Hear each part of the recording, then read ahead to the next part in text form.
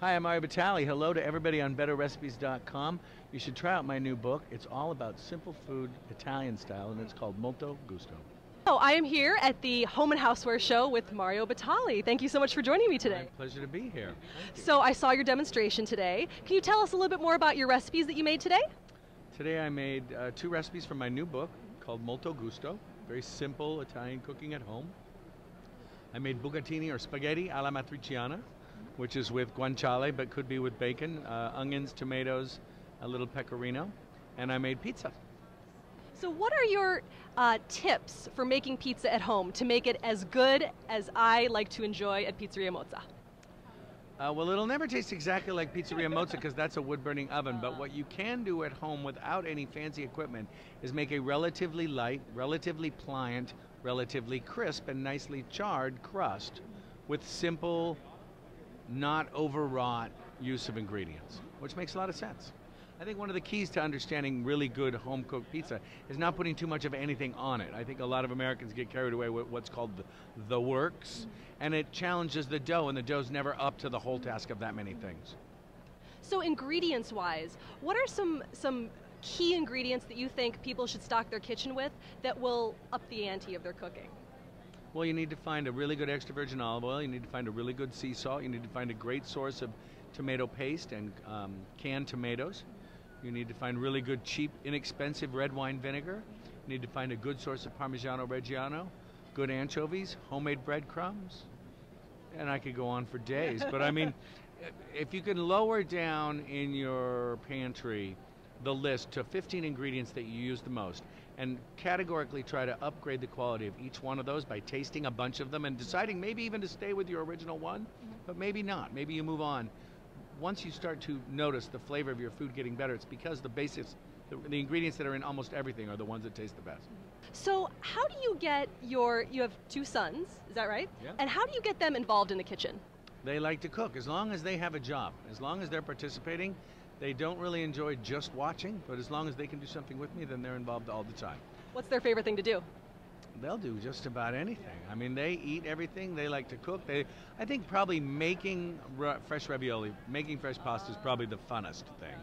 And uh, are they ever picky eaters or have you trained them well?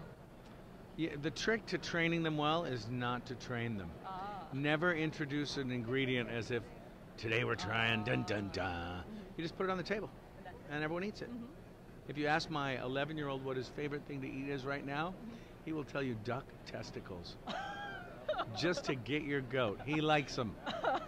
I like duck, but I can't say I've had that, so maybe I'll have to try it. Sometimes they're just tough to give up the testicle. Um, so I've read some things about you, and we have a lot in common. We redheads both like to cook, and also both theater majors. Yes. So tell me, I was a theater major at Northwestern, and I was I like that I read that you were. Um, what? How do you see similarities between theater and cooking? Well, it's a nightly experience. You have to prepare for everything, and then all of a sudden everyone shows up at once.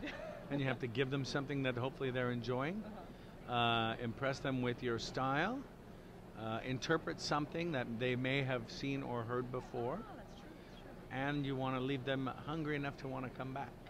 So, do you have any other upcoming shows? Everyone loved the, the show in Spain with Gwyneth Paltrow. Are you planning anything similar in any other countries I'm with any other actors? Two right now. Ah, will you tell me with One whom? of which is in Sicily with a guy named Phil Rosenthal, uh, who wrote Everyone Loves Raymond, Oh, okay. and uh, probably Meryl Streep and Stanley Tucci. May I And please go? Please. If you happen to be there at the same melted a little time. And then I'm working on another show that would be uh, taped live once weekly, um, kind of an entertaining idea of me talking and teaching people how to cook based on a theme uh, and a region in Italy every week. Oh, wow. So the, the one with Meryl Streep and Stanley Tucci, that would be in, in Sicily? In Sicily. Oh, and have you ever cooked with Meryl Streep? I've been many times cooking with Meryl Streep. Really? And Yeah. tell me, how is her skills in the She's kitchen? great. She's Yeah. great at everything she does, I know, obviously. it's scary. you know what? I, she doesn't make a big deal out of all the Yeah. things she does, and that's probably why she's really so good at it. yeah. I, I think she should have won the Oscar. What do you think? She's already won Oscars. I know, but she needs many. I think she'll get more. I mean, I, I believe because uh, Mr. Tucci has uh, suggested the 16 nomination cap, that maybe she'll never get any more. Nah. I don't think so. Yeah. Um, I think that's about all I have for today. Is there anything else you want to tell us about your products or, um, you know, your, Well, your I'm proud. I'm proud to be here in Chicago. I love this town.